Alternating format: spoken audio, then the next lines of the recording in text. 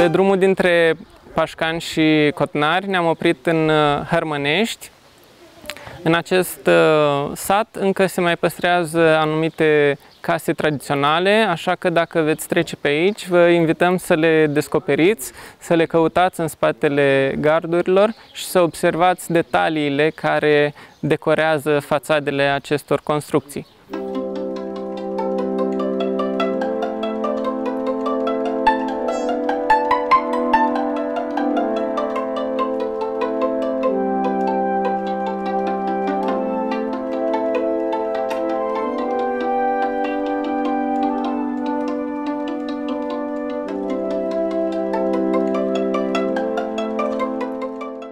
Și acolo și din coace sunt morminte.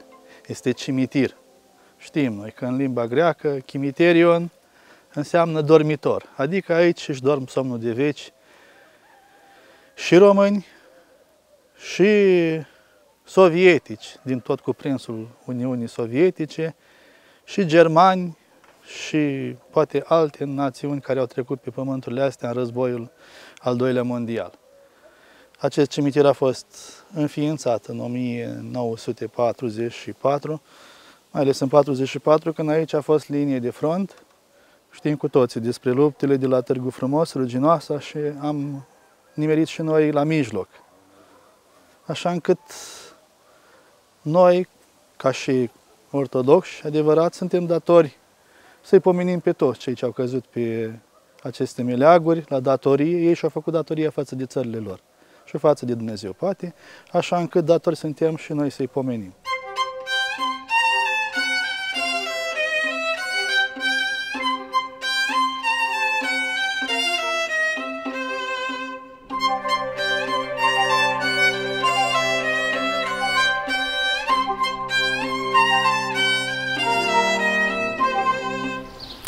Am ajuns în satul Boldești, din comuna Hărmănești, și suntem în fața uneia dintre puținele biserici din lemn din această zonă.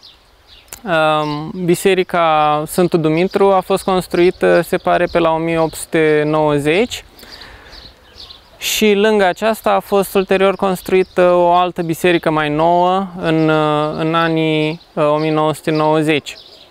Oamenii păstrează încă tradițiile locale, Chiar în apropierea bisericii se află și uh, Casa Oierului, care confecționează în continuare, în mod tradițional, uh, cușme și vă invităm uh, să-l vizitați.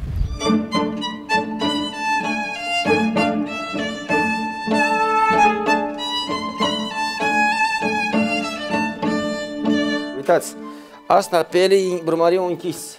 Ce-ar fi să cos pelea asta și cu pelea asta, să fac căciul, care e și o mască. Deci eu aici trebuie să mi întind și trebuie să-mi caut părul și culoarea. Pelea asta se potrivește cu asta, asta și cu asta. Uitați, sunt pei crețe. Asta se potrivește cu asta, ca să o, să o tai când o, o alegem așa. Și cu asta crețe, altfel.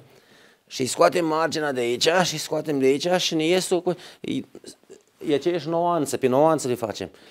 La negru e mai ușor că e aceeași culoare, dar la brumariu e foarte, foarte greu. Trebuie să le, că dacă nu le nimerești exact pe culori, le aștepți, aștepți al doilea an cu ele.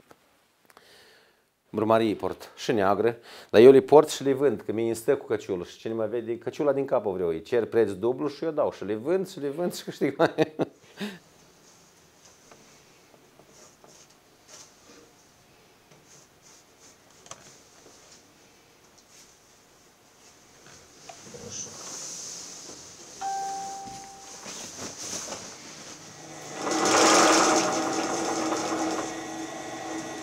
Uitați, asta o și bordura. Trebuie să mai punem 5 cm. Ca să-i punem 5 cm, alegem bucățica asta de la picior care punem. Și punem în partea asta aici. Deci pe târgul, ne ducem cu brânză, ne ducem și cu căciuli. Și mai vin oamenii și de acasă. Deci acum nu mai merge. Deci anul ăsta cel puțin n-am vândut nici 30% de marfă. De asta apare marfa acum. La mine tot timpul, eu nu am liber niciodată. Acum ar fi mai greu, că acum fată și trebuie să stai drept între ele.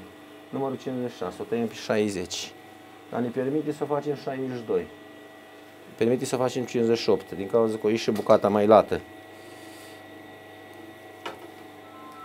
Asta am terminat. Acum ne trebuie un material, materialul care ne vine de sub aici, ca să ne țină plouă sau ceva să nu se moaie, să ne țină, îl tăiem de aici. Mai sunt câteva centre, la Târgu Neamț mai sunt care mai coasă niște bătrâni și mai sunt două atelierii în Botoșani. Drept, doi mai sunt care coasă în Botoșani. Fac și 7 și 8 și 10 dacă mă scol dimineața la 4 și mă culc seara la 9, fac și 10 căciuli dacă stau la cusut.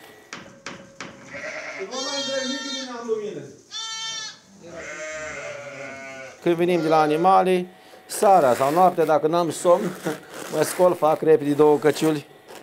Că nu ai timp să stai numai de aici, că nu ai oameni la animale. La voi, dacă nu stai între ele, deci găsești oameni, găsești oameni slabi acum la, la animale, că ăia buni au plecat toți. Și trebuie să-i spui, pune pai acolo, du-te acolo, du-te acolo, că ei, ei te așteaptă banii și la băut.